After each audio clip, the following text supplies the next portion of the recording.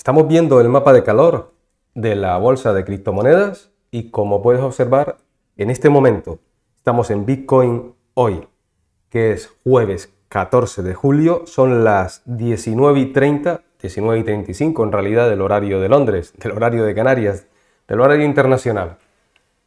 Y todas están en verde. Además, si nos vamos un momentito a ver la triple pantalla que tenemos del spot de Bitcoin, pues ya lo estás viendo. Enseguida paso a contarte qué es lo que está ocurriendo. Además, también me gustaría enseñarte los futuros de la bolsa de Chicago, cómo llegó a los 18.848 en el día de ayer y fue justo donde comenzó a rebotar, la han vuelto a traer, es el mismo rebote que teníamos en el spot, pero ya lo puedes ver, 18.848 y lo han traído, lo han refugiado en esta vela de 4 horas en los 20.555. Ahora mismo podría conseguir ese apoyo, es el equivalente a los 19.126 en el spot. Pero antes, déjame darte la bienvenida aquí a tu canal, a Bitcoin Hoy. Yo soy Esteban Pérez. Estamos empezando, o estoy empezando ya, a hacer una serie de cambios preparándonos para lo que viene a partir de finales de este mes, que le vamos a dar un vuelco al canal en cuanto a la forma de poderte informar y formar. Hablando de formar, después de informarte, volveremos a ver lo del plan de trading, te voy a explicar un poquito más, pero sobre todo en el fin de semana, entre sábado y domingo te daré los mini tutoriales porque a partir de ahí iremos trabajando con eso día a día, con ese plan. Vámonos ahora, si te parece entonces, a ver los gráficos y a ver lo que tenemos para mañana porque comenzamos con el calendario macro, con las ventas minoristas desde Estados Unidos, también el control del sector minorista y el índice del sentimiento del consumidor de la Universidad de Michigan, que ya te he dicho que también es un dato macro que cuando eh, cuando se conoce, cuando se publica, eh, tiene gran impacto en las cotizaciones. Cotizaciones que por otra parte podemos ver que están dando alegría en el mercado de las criptomonedas, pero solo lo observamos en el Nasdaq en cuanto a los futuros de los índices de Estados Unidos. Es el único que está en verde, tanto el Dow Jones como el SP500 está con ligeras pérdidas como puedes ver. En Europa también el DAX y el Eurostock. ¿Y por qué podemos decir que el Nasdaq está en positivo? ¿Qué es lo que le está ocurriendo?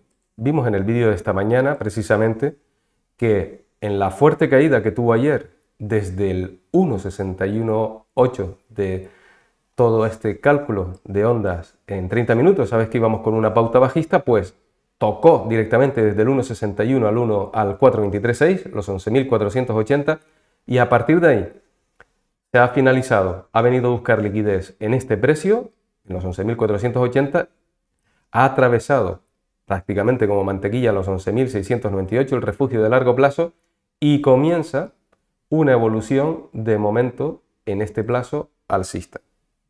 Pero es que poco a poco se va también confirmando la imagen de consolidación y de acumulación en el gráfico de 4 horas, puedes ver atravesando el refugio de mediano plazo, atravesando el refugio de largo plazo, y ya si nos situamos en el diario, son los mismos niveles, poco a poco va confirmando precisamente lo que te comentaba, esa consolidación en, en esta zona.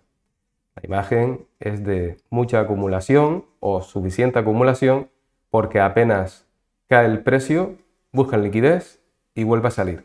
Ahora mismo está intentando atravesar los 11.806, el 0.618, si cierra por encima de este nivel, será importante enfrentarnos así de cara a lo que vamos a, conocer a partir de ahora mañana, porque empieza la presentación de resultados en Estados Unidos, como te dije, de las compañías, pero comienza la de la banca. JP Morgan es la primera que va a darnos ese dato, a ver cómo sienta en el mercado.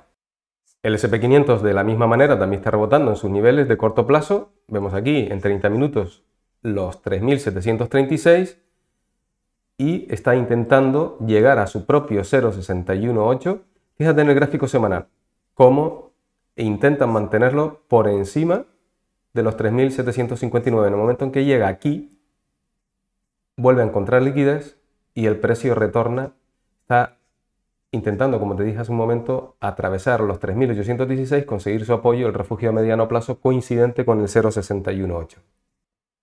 El Dow Jones, por su parte, con la misma música, desde los 30.490, buscando este apoyo, a más retrasado que sus compañeros.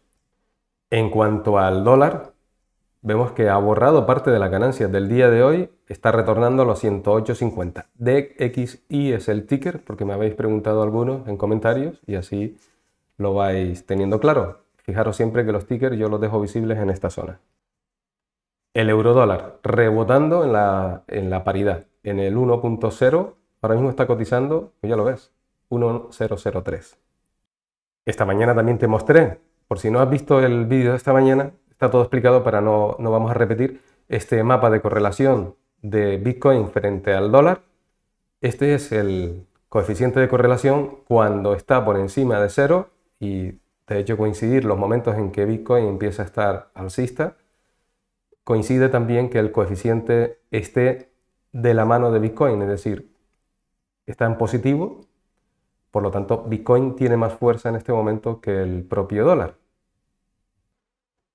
Cuando digo más fuerza, no vayas a malinterpretarlo. Quiero decir, lógicamente, se deprecia el dólar con respecto a Bitcoin y entonces estamos viendo que el coeficiente pasa por la parte de arriba, pero es, es la antesala de los movimientos alcistas que pueda hacer Bitcoin, pero necesitamos al menos que llegue la correlación al 0,50. Ahora mismo está en el 0,20 si no me equivoco. Efectivamente, está en el 0.21, lo podemos ver nuevamente aquí. Vale, pues vamos a dedicarnos ahora entonces estos minutos a Bitcoin y Ethereum para después pasar al plan de trading, que te va a gustar. Vi que tuvo bastante éxito en el día de ayer con los comentarios y a partir de ahora verás la parte formativa que voy a dar desde el punto de vista gratuito al menos, todo lo que pueda y el esfuerzo técnico que estamos desarrollando para así hacerlo. Bien, gráfico semanal. Quinta semana, como te voy diciendo en los análisis, te lo recuerdo, sigue eh, recibiendo el apoyo de los 19.126. Estamos en esta tercera onda. Mientras no consigue cerrar por debajo de ella y sobre todo debajo del mínimo que dejó en los 17.500, las posiciones bajistas están vetadas. Rebote y freno en esta situación. Ya si miramos el gráfico diario es bastante más clara la imagen. Como nos pasaba en el Nasdaq gráfico diario, consolidación en zona, poco a poco, acumulación las, acumulaciones, las consolidaciones de pautas que puedan ser, aunque sean correctivas, pero que se desplacen eh, en forma de impulso, se construyen despacito y de esta manera. No se van rápidas. Pero ya ves, estamos nuevamente cotizando por encima de los 20.500, por encima del 0.618 entre este máximo y este mínimo. Aunque haya este otro máximo, alguien me preguntaba, ya podemos decir que efectivamente este es un nuevo máximo. Sí, voy a encender un momentito el indicador que está apagado en este momento. Ahí lo tienes. ¿Vale? Ya tenemos, después de cinco días, un nuevo máximo.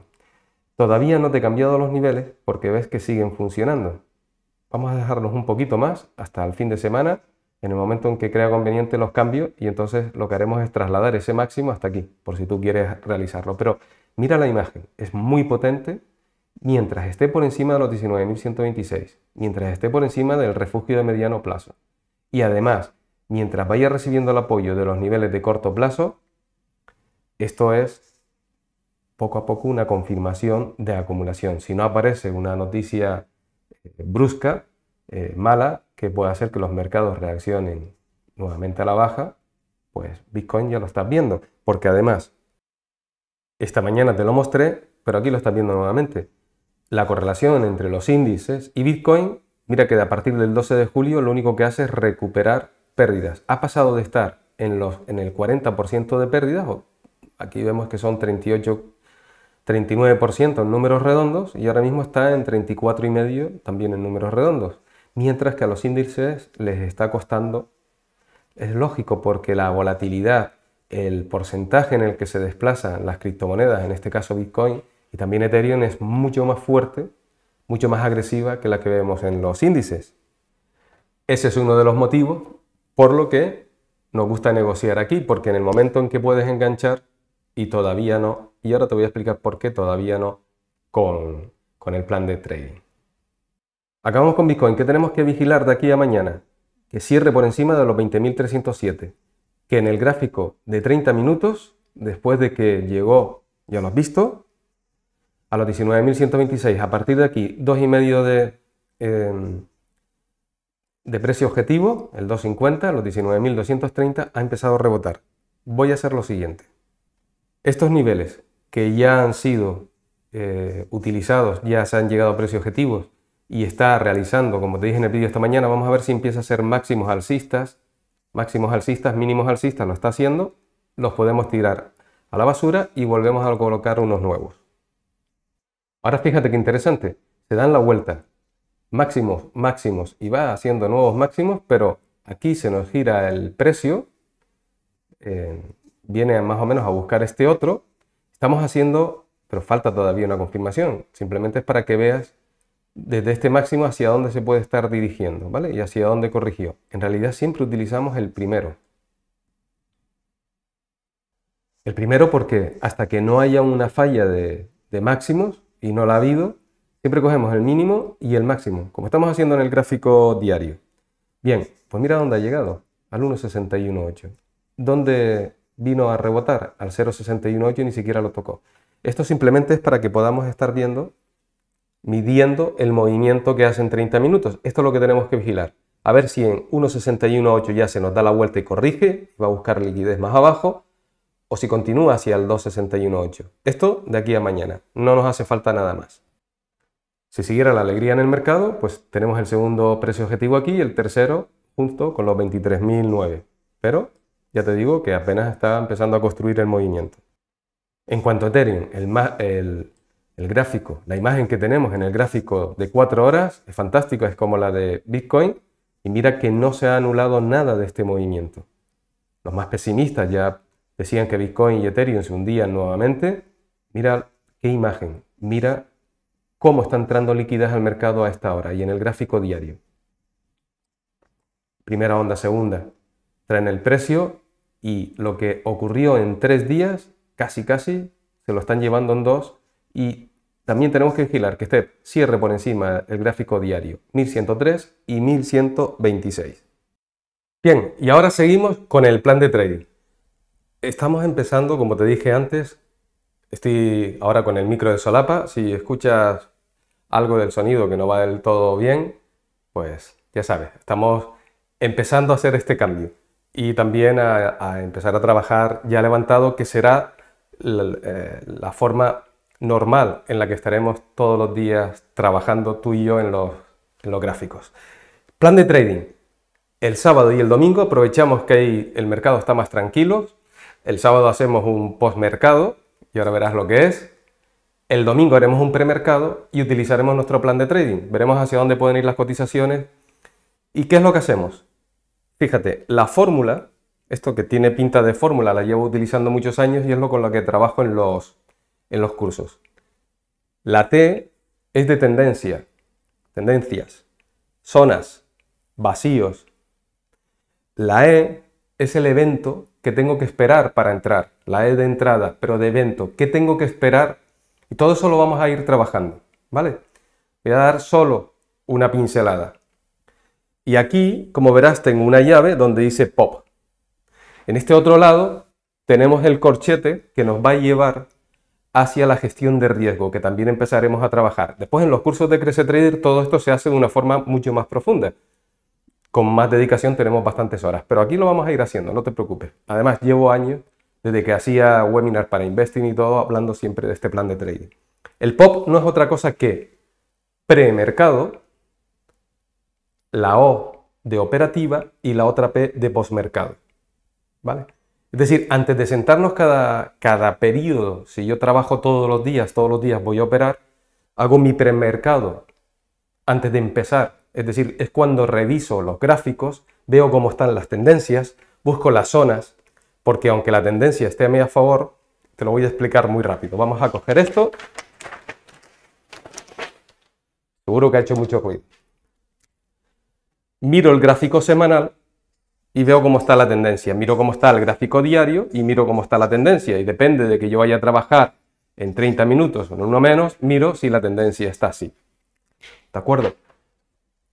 Voy buscando zonas, veo si efectivamente desde los niveles yo tengo una, el precio ha estado cayendo y veo si tengo posibilidad de volver a, recuperar, pero todo esto lo vamos a dejar para el tutorial.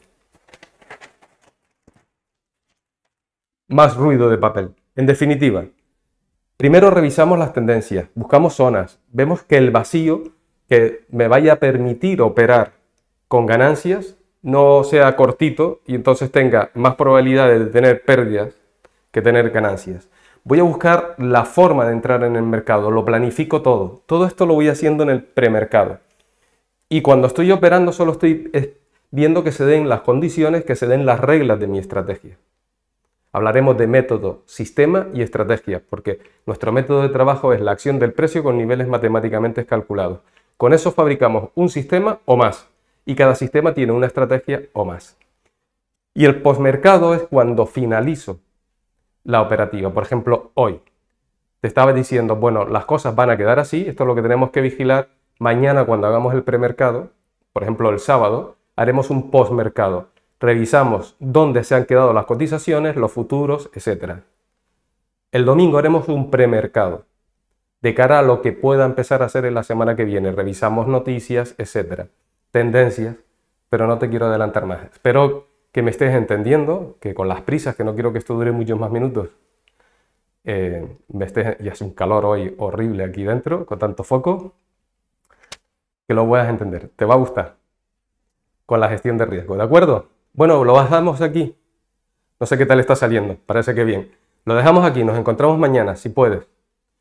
Porque es viernes y los viernes ya se sabe y seguro que quieres. Yo voy a estar en el primer vídeo y en el segundo. Mañana más y mejor. Que pases una feliz noche y nos encontramos mañana. Chao.